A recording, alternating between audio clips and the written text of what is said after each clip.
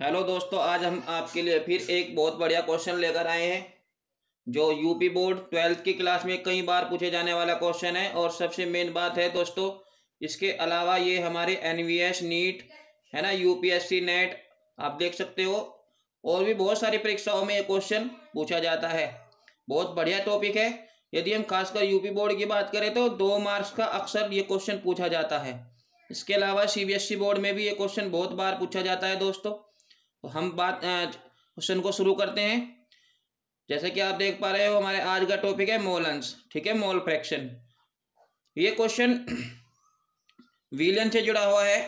जैसे कि आपको विलियन की बेसिक जानकारी पहले ही दे दी गई है, ठीक है? विलियन के अंदर विलायक और विलय दोनों होते हैं। तो विलियन के अंदर जो उसकी सांद्रता होती है कंसेंट्रेटिव होती है, उसी को ज्ञात करने का ये भी क्या है, एक टॉपिक है।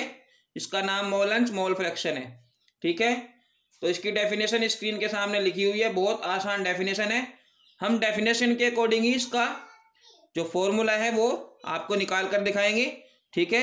इसके बारे में आपको पूरी जानकारी के लिए वीडियो को पूरा देखना चाहिए और हमें उम्मीद है कि वीडियो को पूरा देखने के बाद आपकी ठीक प्रकार से मोलन समझ में आ जाएगा और इसको देखने के बाद आप कभी भी इसको भूल नहीं पाओगे। तो चलिए फिर इसकी डेफिनेशन शुरू करते हैं। देखिए जरा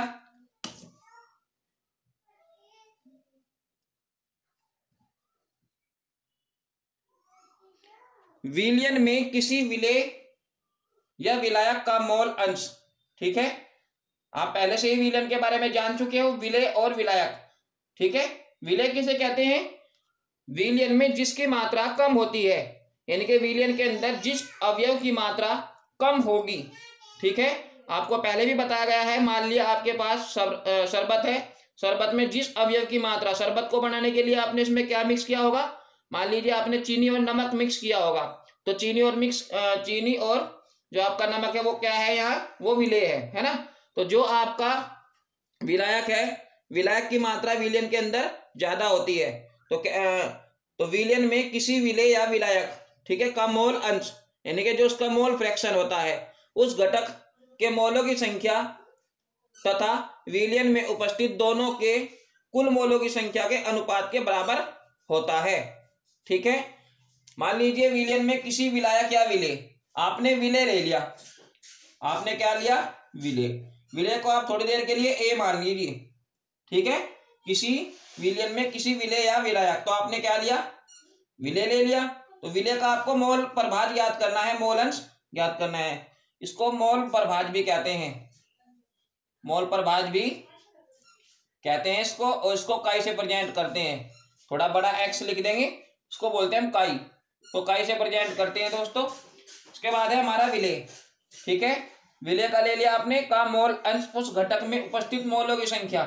मान लीजिए विलय के मोल जो है वो आपके एन ए है। ठीक है? क्या है? एन ए तो डेफिनेशन के अकॉर्डिंग तथा विलियन में उपस्थित दोनों के कुल मोलों की संख्या। विलियन में उपस्थित दोनों। दोनों का मतलब है हमारा यहाँ विलायक और विलय दोनों से। तो दोनों के कुल मोलों की संख्या, कुल मोलों की संख्या मीन्स दोनों को जोड़ देंगे। भाई सिंपल सी बात है आपके पास। विलियन है। आपके पास क्या है? विलियन तो विलियन कैसे बना होगा? विलायक और विलय दोनों को जोड़कर बना होगा ना? तो विलायक प्लस विलय। ठीक है? दोनों को जोड़कर क्या बना था आपका? विलियन तथा विलियन में उपस्थित दोनों के कुल मोलों की संख्या का अनुपात। मान लीजिए आपका विलायक एन बी है। और विलय क्या है? एन ए है। ठीक है? तो विलियन के लिए क्या आ जाएगा? N A plus N B आप इसको ऐसे भी लिख सकते हो। तो विलय का मोलंस क्या आ जाएगा आपका? N A plus N B ठीक है? ऐसे ही आपका यदि विलायक के लिए मोलंस ज्ञात करना हो तो विलायक के लिए एन बी आप ऊपर रख दोगे। ठीक है? विलियन के लिए दोनों हर बार ये सेम रहेगा। अगर आप इसको और भी स्टैंडर्ड तरीके से करना चाहते हो तो देखिए। माना विलियन में, माना विलियन में विले, ठीक है? ए, के मोल, ठीक है? ए के मोल, एन ए व बी के मोल व विलायक के मोल, ऐसे भी लिख सकते हो आप, विलायक के मोल एन बी है। तब ए का मोल अंश, ए का मोल अंश। ठीक है? यानी कि ए मतलब विला विले। विले का मोल अंश क्या आ जाएगा आपका? डेफिनेशन के अकॉर्डिंग ठीक है? विले आपका, अगर आपको विले का ज्ञात करना हो तो विले के मोल आप ऊपर रखोगे। ये बात आप ध्यान रखिएगा। जिस घटक का आपको मोल अंश ज्ञात करना है, उसी के मोल आपको ऊपर रखने हैं। यदि आप विलय का मोल अंश ज्ञात कर रहे हो, तब आपको क्या रखना होगा ऊपर? विलय के मोल आपको ऊपर रखने होंगे। ठीक है? हमें उम्मीद है कि यह आपकी समझ में आ रहा होगा। एक बार फिर सुन लीजिए। जिसका हमें मोल अंश ज्ञात करना होता है, ठीक है? उसी के मोलों का जो मान होता है, वो ऊपर रखा जाता है सूत्र में। अब मान लीजिए, आपको विलय का मोल अंश ज्ञात करना है, ठीक है? तो विलय के मोल जो है एन ए वही हमने कहा रखा? ऊपर रखा, ठीक है? डेफिनेशन के अकॉर्डिंग तो क्या हो जाएगा नीचे? N A plus N B भाई विलयन में उपस्थित दोनों के जो कुल मोल है, वो तो N A plus N B हुए ना? तो क्या हो जाएगा? विलय का मोल equal to N A upon N A plus N B ठीक है? इसी के हिसाब से यदि आपका क्या हुआ? विलायक का हो। विलायक का मोलंश विलायक मतलब बी का मोलंश ठीक है? इसको भी आप कई काई कहोगे और इसको भी आप काई ही कहोगे। तो ये क्या हो जाएगा? ठीक है? अभी आपको बताया था कि जिसका हमें मोल अंश निकालना है, उसी के घटक आपको, यानी कि उसी के घटक का जो मोल होगा, वो आपको ऊपर रखना है। ठीक है? यहाँ आपको विलय का निकाला था तो विलय के मोल आपने ऊपर रख दिए थे। ऐसे ही यहाँ क्या है? विलायक है। तो एन बी आप ऊपर रखोगे और नीचे विलियन के लिए दोनों सेम रहेंगे। है ना? बहुत बढ़िया क्वेश्चन ठीक है? तो उसके साथ साथ एक चीज़ और जाननी ज़रूरी है एग्ज़ाम में आपको इससे जुड़ा हुआ न्यूमेरिकल भी दिया जा सकता है। और न्यूमेरिकल में आपको ऐसा नहीं है कि डायरेक्ट आप इसमें फॉर्मूले में मान रखोगे और तुरंत आपको दो मार्क्स दे दिए जाएँगे। इसके लिए आपको मोलों का मान निकालना होगा, ठीक है? यानी कि मोलों का मान आपको निकालने के लिए क्या करना होता है? जहाँ एन ए क्या है? विले के मोल है। विले के मोल। ऐसे यहाँ एन बी क्या है? विलायक के मोल है। ठीक है? और ये भी क्या है? और ये भी, ये तो दोनों सेम है। यानी कि विलियन के कुल मोल N A plus N B विलियन के कुल मोल। ठीक है? तो दोस्तों, ये जो आपका एन ए है एन का मान आप कैसे निकालते हो? मात्रा बटे अणुभार। मात्रा अपॉन अणुभार, यानी कि आप मास अपॉन इसका जो मोलिकुलर वेट है वो भी लिख सकते हो। ठीक है? मोल बराबर मात्रा बटे अणुभार ये हो जाएगा इसका फॉर्मूला तो सबसे पहले आप न्यूमेरिकल को हल करने के लिए मोलों का मान निकालते हो। ठीक है? मोलों के लिए क्या करते हो? मात्रा पोन अणुभार ठीक है? तब जाकर ये आपका क्वेश्चन सोल्व होता है। ठीक है ना? यदि आपको किसी भी न्यूमेरिकल को से जुड़े हो करना होगा। तो आप क्या करोगे? आपको मान लो पैंतालीस ग्राम एल्कोहल दिया है, ठीक है? पैंतालीस ग्राम एल्कोहल दिया है और इसमें शेष जल है। तो आपको दोनों अवयवों का मोलंश याद करना है, ठीक है? मैं क्वेश्चन लिख रहा हूँ। ये क्वेश्चन आप स्वयं करके देखेंगे। आपको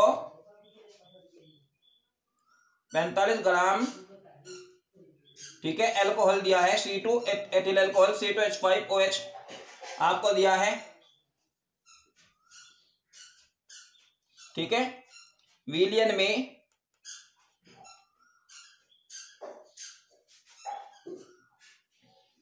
दोनों अवयवों दोनों अवयवों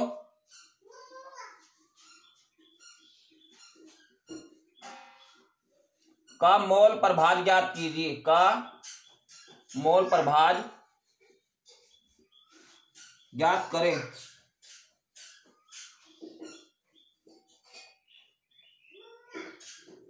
मैं आपको क्वेश्चन केवल समझा रहा हूँ। आप इस क्वेश्चन को स्वयं करेंगे। एक बार मेरे साथ आप क्वेश्चन को पढ़िए। आपको 45 ग्राम एथिल एल्कोहल दिया है। ठीक है? विलियन में दोनों अवयवों का मोल प्रभाज आपको ज्ञात करना है, यानी मोलंश आपको निकालना है। ठीक है? दोस्तों, यदि हमें कोई भी क्वेश्चन बहुत अच्छी तरीके से समझ में आ जाता है तो उससे जुड़ा हुआ कैसा भी क्वेश्चन हो, हम बहुत आसानी से कर सकते हैं। इसके लिए हमें किसी भी फॉर्मूले की डेफिनेशन का याद होना बहुत ज़रूरी है। ठीक है? और मेन आपको बता दिया जाएगा, इसी न्यूमेरिकल को आप देखो। पैंतालीस ग्राम एथिल एल्कोहल है। ठीक है? ये जो पैंतालीस ग्राम है ये आपकी मात्रा है एथिल एल्कोहल की C two H five O H की, ये क्या है? मात्रा है। ठीक है? ये क्या हुआ आपका मात्रा? विलियन में दोनों अवयवों का, अब ये सोच रहे होंगे आप, दोनों अवयव कहाँ से आ गए? ठीक है? ये दोनों अवयवों का मतलब क्या हुआ? आपको सत्तर परसेंट एथिल एल्कोहल दे दिया जाए। तो इसका मतलब ये होगा कि इसमें तीस परसेंट क्या है? आपका वाटर है। तीस परसेंट जल है। ऐसे ही आपको पैंतालीस ग्राम एथिल एल्कोहल दे दिया और एक विलियन बना दिया गया। तो विलियन में आप समझ सकते हो कि विलियन में पैंतालीस ग्राम एथिल एल्कोहल है। ठीक है? जबकि दोनों अवयवों का मोल अंश निकालने के लिए क्या करोगे आप? आपको चाहिए जल के मोल। दूसरा आपके पास क्या है? जल है। यदि आपको यहाँ पैंतालीस ग्राम के बजाय पैंतालीस परसेंट दे दिया जाए तो क्वेश्चन और भी बेटर हो जाता है, और भी बढ़िया हो जाता है। ठीक है? तो आप इसकी जगह क्या कर सकते हो? पैंतालीस परसेंट एथिल एल्कोहल दिया है। तो विलियन में दोनों का मोलेंस ज्ञात करने के लिए आपको पहले क्या करना होगा? सौ में से पैंतालीस को माइनस कर देंगे। ये जो आपके पास पैंतालीस परसेंट होगा, ये किसमें कन्वर्ट हो जाएगा? ग्राम में। यानी कि आपके पास एथिल एल्कोहल की मात्रा कितनी होगी? पैंतालीस ग्राम। और एथिल एल्कोहल के फॉर्मूले से आप इसका अनुभार निकाल लोगे और अनुभार, ठीक है से मोलों की संख्या निकालोगे। अब आपको यहाँ यह देखना होता है कि इसमें विलय और विलायक कौन है? ठीक है? आपका विलय क्या है? Ethyl alcohol. और विलायक क्या हो जाएगा यहाँ? जल। कैसे हो जाएगा? भाई, सिंपल सी बात है। विलियन विलियन क्या होगा यहाँ आपका? सो होगा ना? तो इसके अंदर आपका क्या क्या है? पैंतालीस। तो पैंतालीस, सौ में से आप पैंतालीस क्या करोगे? माइनस करोगे। तो कितना बच जाएगा आपका? पचपन। तो पचपन ग्राम आपका बचा। ये किसका होगा? जल का। यानी कि आपकी जो जल की मात्रा होगी, वो पचपन ग्राम होगी। ठीक है? जल की मात्रा पचपन ग्राम आपकी हो जाएगी। चलिए इसको मैं थोड़ा करा देता हूँ, बाकी आप इसको करके देखेंगे और अपना आंसर कमेंट बॉक्स में ज़रूर भेजेंगे।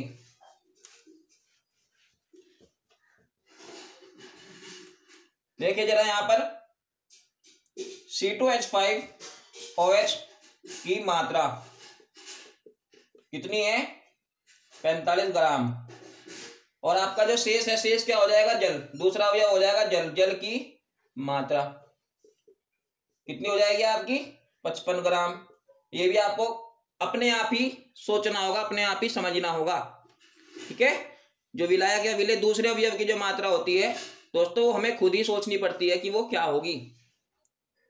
तभी ये क्वेश्चन बहुत बढ़िया बनता है। इसके बाद है हमारा C two H five O H का अनुभार।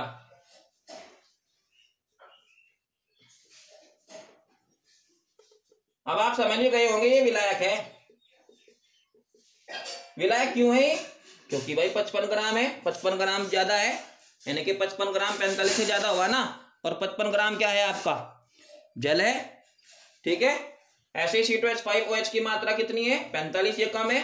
तो क्या है आपका विलय है? अब दोनों का आपका विलय का और विलायक का मोल अंश निकालना है, यानी कि मोल प्रवाह निकालना है। तो पहले आप क्या निकाल लोगे? एनवी का मान, इसकी मदद से निकाल लोगे। इसकी मदद से क्या निकाल लोगे आप? सॉरी एन ए का मान, इसकी मदद से और एनवी का मान आप इसकी मदद से निकाल लोगे। इसमें भी मात्रा पूर्ण अनुभार आ जाएगा। और इसमें भी मात्रा पूर्ण अनुभार आपका आ जाएगा। है ना? तो मात्रा पूर्ण अनुभार ठीक है? मात्रा कितनी है? एल, एल्कोहल की पैंतालीस ग्राम। और अनुभार C two H five O H का अनुभार निकाल लोगे आप। कार्बन का ट्वेल्व ठीक है? जो संख्या यहाँ लिखी हुई है दोस्तों उसकी गुणा करते हैं। प्लस एक हाइड्रोजन का कितना होता है? एक होता है ना? और गुना ये पाँच गुणा में आ जाएगा। प्लस ओ का कितना होगा? सोलह। और प्लस वन तो बारह दूनी चौबीस प्लस पाँच कम पाँच और प्लस सत्रह दोनों का ऐड कर दिया ना? अब आप इसको टोटल कर लेंगे। कितने हो जाएँगे? उनतीस प्लस सत्रह। तो ये हो जाएगा आपका छियालीस। तो आपकी जो एथिलेल कोयल की जो अनुभार है, वो आपका छियालीस आ जाएगा। तो मात्रा कितनी थी? पैंतालीस और अपोन अनुभार कितना हो जाएगा? इसका छियालीस। दोनों को आप डिवाइड करोगे। ऐसे ही जल के लिए भी क्या निकाल लोगे आप? जल का अनुभार। जल का अनुभार। जल का अनुभार आपका कितना हो जाएगा? एच टू हाइड्रोजन का एक गुना दो। क्योंकि जो संख्या यहाँ लिखी होती है, उसकी गुना करते हैं प्लस ओ का कितना हो जाएगा आपका? सोलह हो जाएगा। दोनों का ऐड कर देंगे अट्ठारह तो ऐसे ही मात्रा कितनी थी? पचपन और पचपन अपॉन अट्ठारह इन दोनों को सोल्व करने के बाद आप अपने मेन फॉर्मूले में, ठीक है, ये मान रख सकते हो और बहुत आसानी से इसको हल कर सकते हो। ठीक है? हमें आपके आंसर का वेट रहेगा। आप इसको कर कर देखिए। ठीक है? फिर मिलते हैं नेक्स्ट वीडियो पर। तब तक के लिए धन्यवाद।